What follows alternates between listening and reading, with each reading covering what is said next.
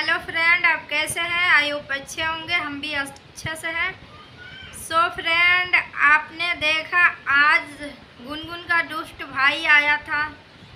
और राधिका और गुनगुन का भाई और राधिका के पापा दोनों एक हो चुके हैं और समर के लिए प्लानिंग चल रही है कि समर के साथ क्या होनी चाहिए, क्या करना चाहिए।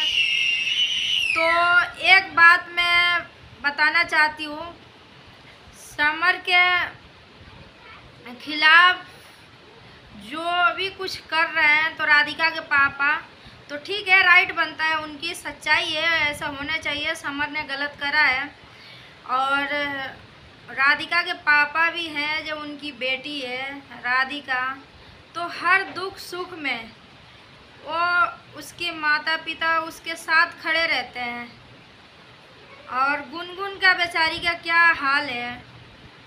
तरस भी आता है उसकी परिवार के तरफ़ से। और वो एक तो उसके फैमिली वाला उसे कुछ समझते नहीं है। ऊपर से एक से बढ़ के एक गलतियाँ करती है। तो उसे कब समझ आएगा? कब उसके घर वाले उसके साथ नहीं है?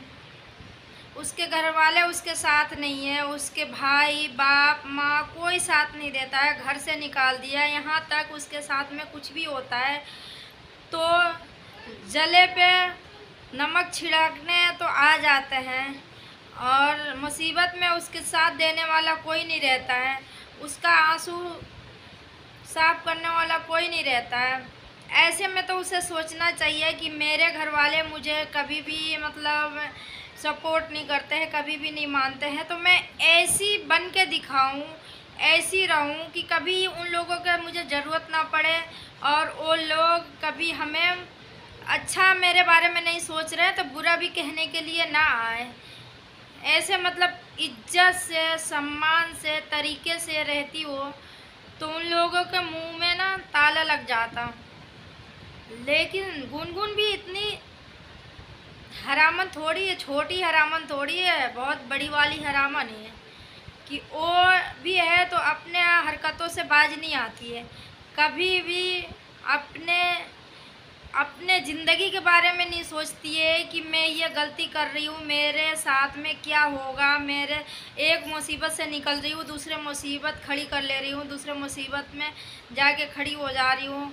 फिर उससे कितना प्रॉब्लम हो रही है, कितना फेस करना पड़ रहा है उसे प्रॉब्लम है ज़रा सा भी घर में इशू हो जाता है, ज़रा सा भी लड़ाई झगड़े होती है तो इंसान एकदम पागल हो जाता है। जब कब इस लड़ाई झगड़े से छुटकारा मिलेगा कब हमें सुकून मिलेगा कब कब परिवार में प्यार मोहब्बत से रहने को मिलेगा, कब मतलब हम सब मिलजुल के प्यार से रहेंगे। कोई कोई तरसता है, साले हम तरसते हैं। ये एक, पता नहीं कैसी लड़की है कि कभी भी ये कोशिश नहीं करती है कि मेरे वजह से परिवार में खुशियाँ आए। कभी भी इसके वजह से हंगामा ही होता है, लड़ाई होता है, कभी भी इसके वजह से प्रॉब्लम क्रिएट होते रहता है। और इसके भाई, ऐसा भी नहीं होना चाहिए दोस्तों। एक भाई है तो भाई का फ़र्ज़ निभाना चाहिए था। माँ बाप इससे कितों नाराज़ थे, फिर भी भाई भाई मतलब एक पीठ से आए हुए हैं दोनों। एक माँ के पेट से पैदा हुए हुए हैं। तो उसे कभी भी तरस नहीं आता है कि आज मेरी बहन कितनी बहक गई है, कितनी गलत रास्ते पे चल रही है और उसे संभालने वाला कोई नहीं है। और मैं उसे जैसे भी हो प्यार से और प्यार से हम जिससे उसे संभाल ले, उसको मतलब सही रास्ते पे चलाएँ, कभी भी सपोर्ट नहीं करता है। ऐसा तो कनस मामा भी नहीं थे। कनस मामा के से भी बढ़ के ये है समर समर कह रही सॉरी गाइस ये गुनगुन का भाई। ऐसी ऐसी बदतमीजी बातें कर जाता है, वो कैसी बर्दाश्त करती है? वो खुल के बता भी ना रही है। सारे पब्लिक का भी इंतज़ार है कि हाँ वो किसका बच्चा है? उसका भाई कितनी बड़ी ताना दे जा रहा कि इसके, खुद का बाप के तो इस बच्चे को बाप को तो मतलब पता ही नहीं है किसका है। एक भाई, एक और बाप, ऐसी बातें बोल जाए तो कैसा लगेगा? वो तो शर्म से इंसान मर जाना पसंद करेगा, मगर ज़िंदगी में रहना पसंद नहीं करेगा।